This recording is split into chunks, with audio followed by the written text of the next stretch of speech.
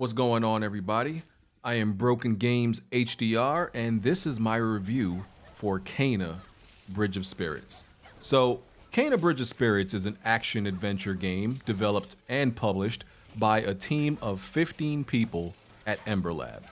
Ember Lab began as a studio that actually specialized in animation and digital content and has made animated shorts for Coca Cola, Hisense, MLB, and some others.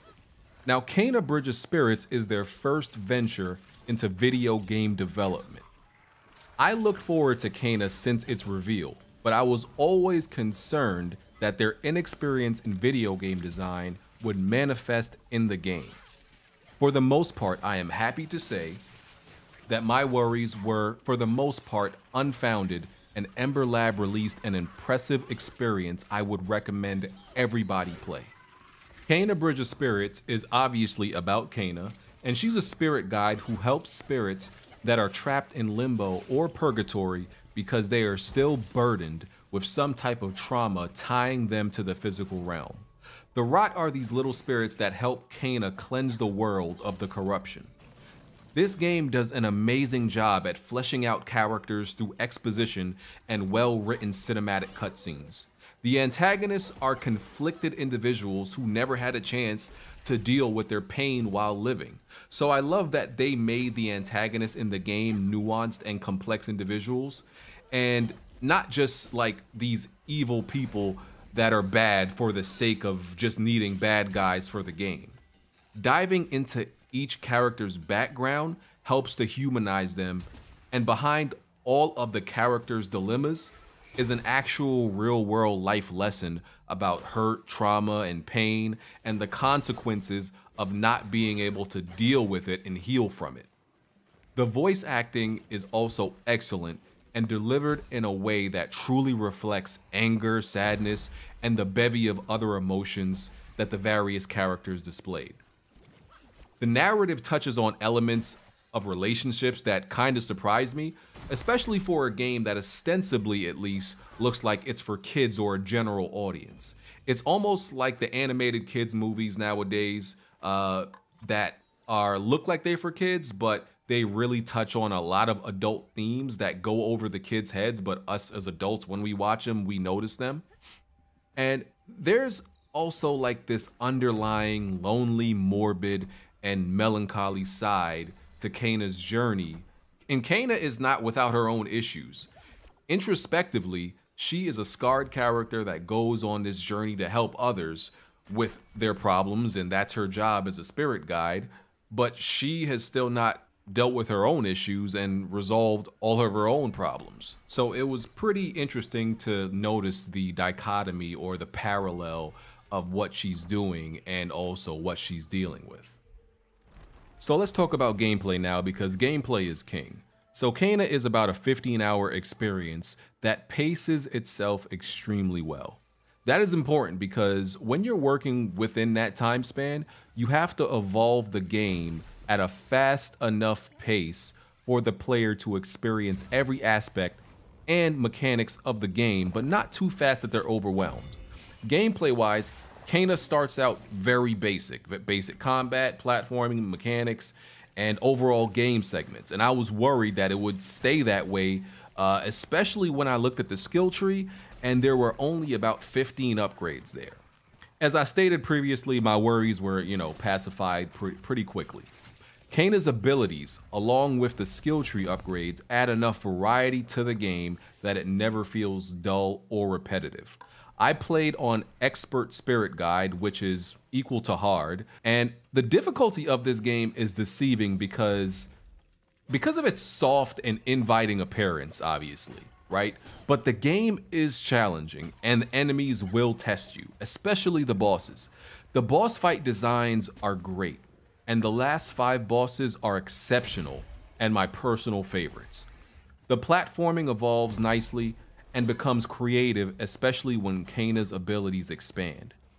Kena's movement is very responsive, but it feels weighty and grounded at the same time.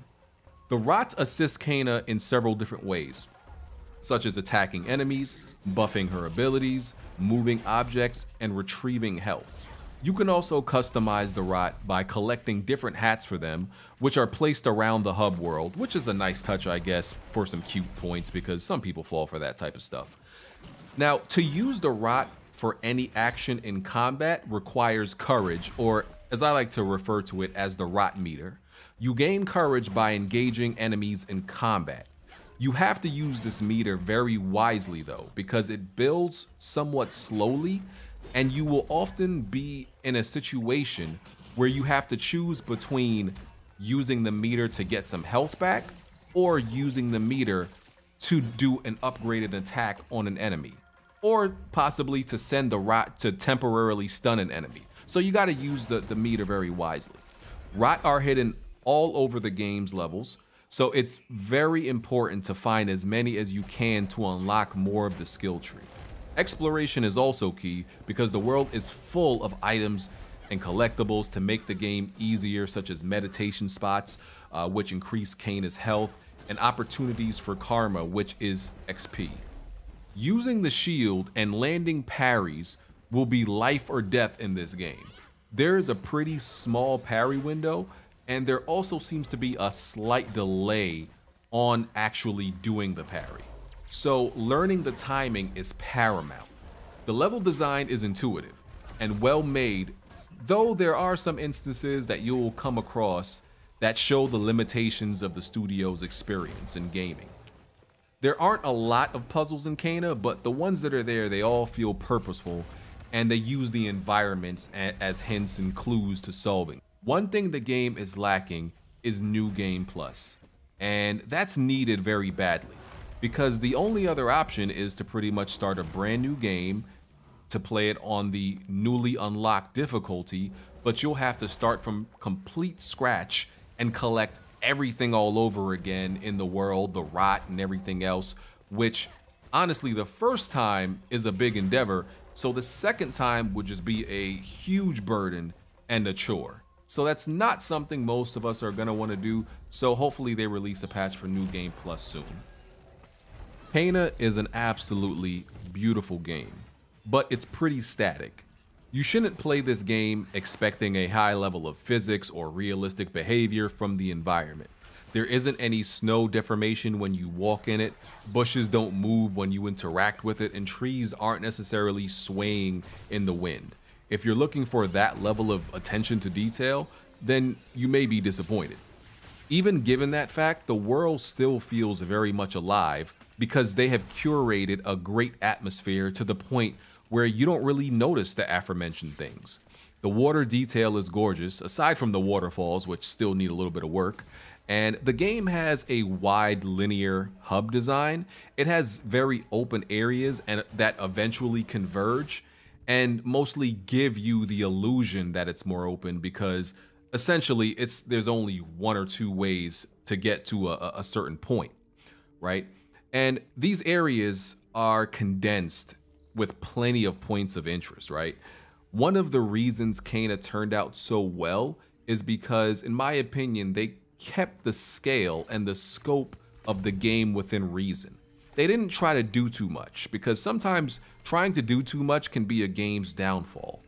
On PS5, the game has a fidelity mode which runs at 4K 30 and the performance, which I believe is reported to be around 1800p at 60 FPS.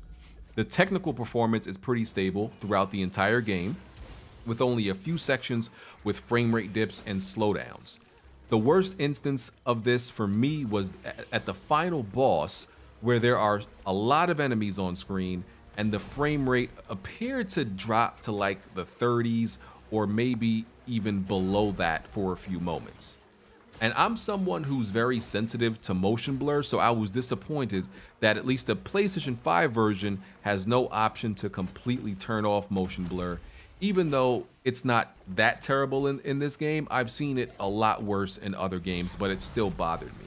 I'm not sure if the PC version has an option to turn off motion blur, but most uh, PC versions do, so I assume it does. Now, cutscenes are at 30 or maybe even 24 frames, which may be intentional for cinematic effect, but I personally hate when cutscenes run at lower uh, frame rates because it's very jarring to go from 60 or higher to 30 or lower.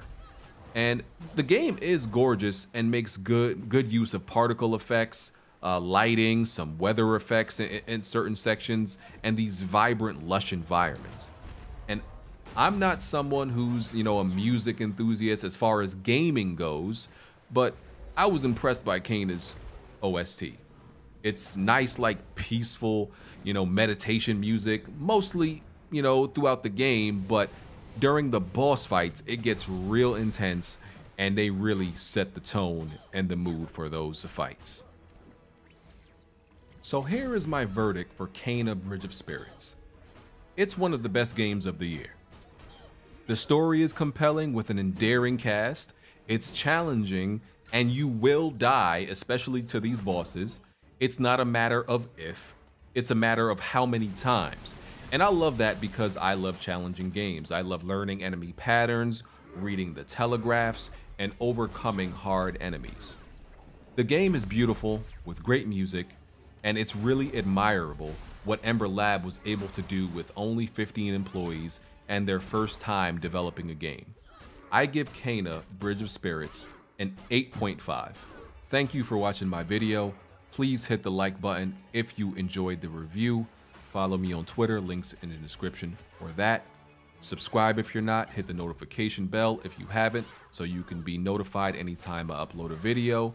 And I will catch y'all on the next video. Thank you. Peace.